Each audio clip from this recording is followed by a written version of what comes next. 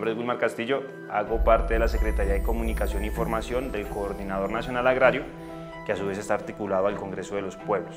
Hoy en día es importante, es estratégico, yo creo que es el término, es estratégico ese, ese trabajo comunicacional que realizan tanto los medios alternativos y populares como el que está haciendo el Estado con los medios privados. Lo más curioso es que esto nace ¿sí? en la década de los 40 ¿sí? y nace en las manos de Sigmund Freud. ¿sí? Sigmund Freud por un tiempo hizo un intento muy fuerte de trabajar para propaganda. Con respecto al artículo, la guerra también es comunicacional, es basada en la vivencia de, en el departamento de Arauca como periodista en una de las emisoras comunitarias del departamento. Aunque no nos veas, siempre estamos ahí.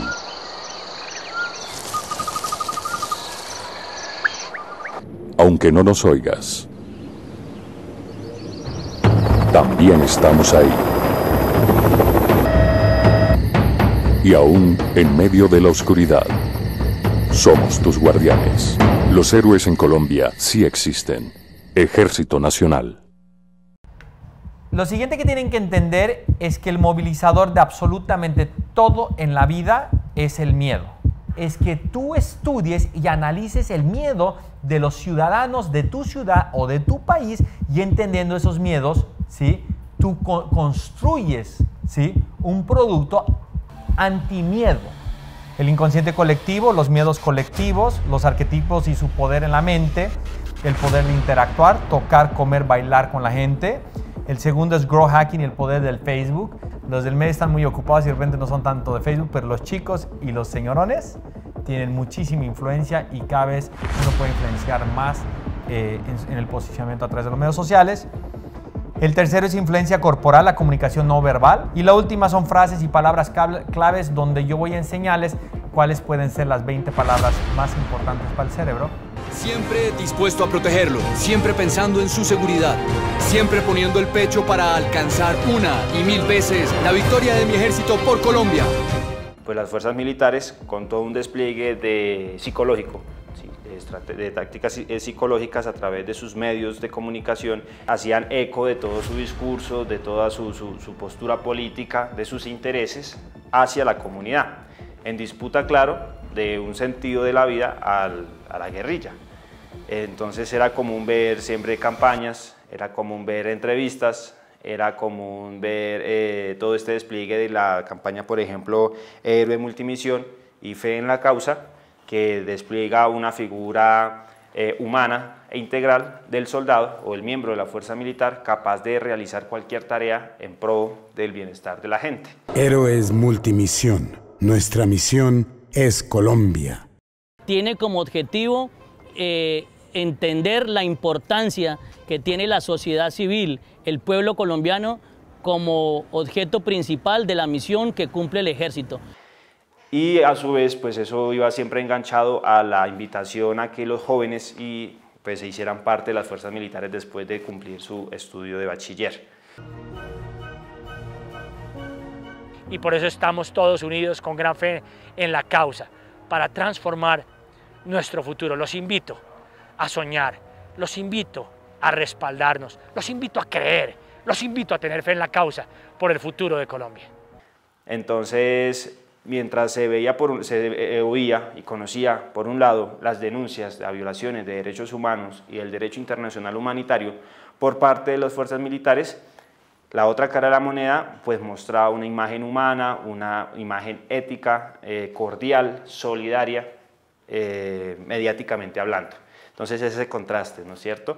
Para crear sobre la gente una legitimidad, ganar su voluntad frente al Estado y la figura de las fuerzas militares como un miembro más de su comunidad y hasta de su familia con el que podrían confiar. Bueno, lo tercero que haces con los miedos y el inconsciente colectivo, tú tienes que descubrir el arquetipo. El arquetipo es una figura que en tu mente sabes qué significa. Si yo te digo Superman, tu mente dice héroe. ¿Cuál fue el arquetipo que hizo ganar a Uribe en Colombia? ¿Cuál?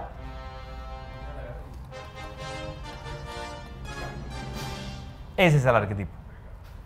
Lo más interesante es saber, entendiendo el inconsciente colectivo y el miedo, cuál es el arquetipo que cubre más esa situación actual mediática dentro del país. Es, es, es muy explícito, ¿no? Se, se notaba la, la empatía que se llegaba a generar entre la gente, a pesar de las denuncias y tal. Pero en el marco, al margen de esto, eh, habían personas que sí se identificaban con las fuerzas militares, apoyaban su, su, su, quehacer ahí en el departamento, eh, por ende apoyaban todos esos proyectos de desarrollo.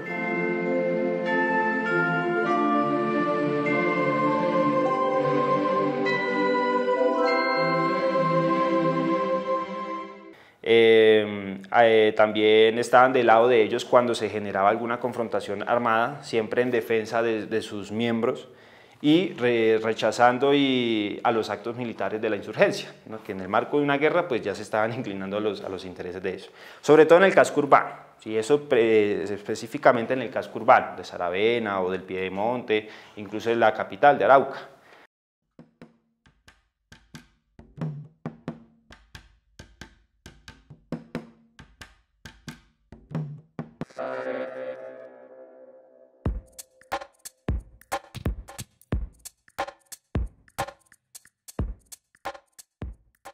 Allá en el campo, en la Colombia profunda, por así decirlo, en donde ocurrían las violaciones de derechos humanos, esas eh, agresiones contra la comunidad, casos como saqueos, robos, violaciones, eh, estigmatizaciones, señalamientos, las personas, los habitantes, los campesinos de allí, si no estaban obviamente por, eh, de acuerdo con, con, esa legitimidad o con esa imagen que se quería mostrar de las fuerzas militares, porque eran las víctimas directas de sus agresiones y de su política oscura, por así decirlo, de su lado oscuro, de agresión contra la comunidad. En el corazón del Cerrejón se encuentra enclavado el Batallón Especial Energético y Vial número 17, que tiene como fin primordial proteger y resguardar la infraestructura económica del Estado de posibles ataques terroristas. Pues siempre, siempre, siempre ha existido esa, esa intención, ¿no? que desde las fuerzas militares sean un actor preponderante en la vida cotidiana de las personas, porque es eh, el, el, el, brazo que defiende y protege toda la política económica neoliberal que viene impuesta desde el imperialismo, sea Estados Unidos, sea Unión Europea, sean las multinacionales. Entonces, no es de ahora ese despliegue mediático, ¿cierto? Pero con la intromisión mucho más cotidiana de las redes sociales y la tecnología es mucho más agresiva, creería yo, en eh, esa estrategia psicológica y comunicacional de las fuerzas militares, porque hoy en día y en Latinoamérica eh, se viene ahondando toda la política extractiva y de control territorial para usurpar las riquezas naturales y los bienes comunes del, del, suelo, entonces se necesita toda una infraestructura militar que permita proteger a las multinacionales, la inversión privada y también la extracción y procesamiento de dichos bienes comunes. Teníamos tierra donde trabajar, además de eso había un amplio territorio para poder circular sin ningún inconveniente. La policía, el ejército, que el ejército hacía detenciones arbitrarias, retenes ilegales, prohibían de que la gente cazara, que la gente pescara en el río. Cultivar ya no era lo mismo porque la contaminación nos contaminaba todo el cultivo. Más de las veces se secaban por el polvillo y esas cosas. Me duele actualmente decirle, señor, que no quiero irme. No quiero irme de mi lugar.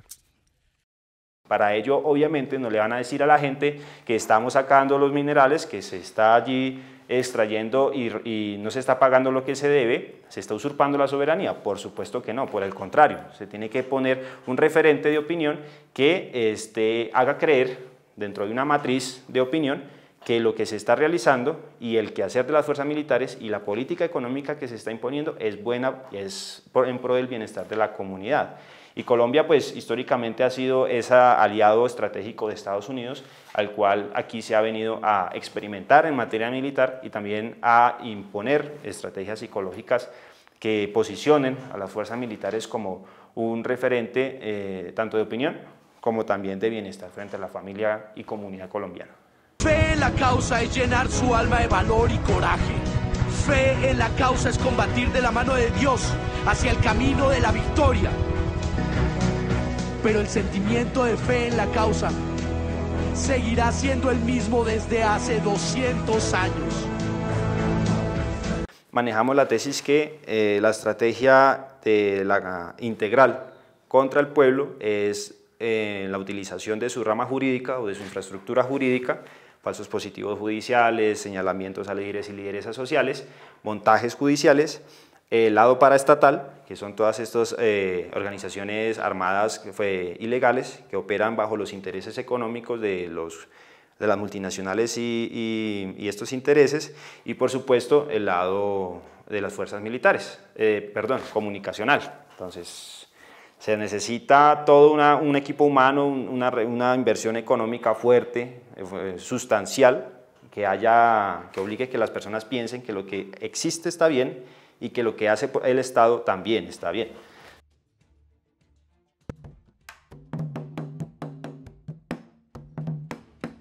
Yo estaba ahí en el momento que la estaban tumbando. No, los golpes que me daban los sentimientos de que yo voy a caer en mi casa desbaratándola y me daba sentimientos.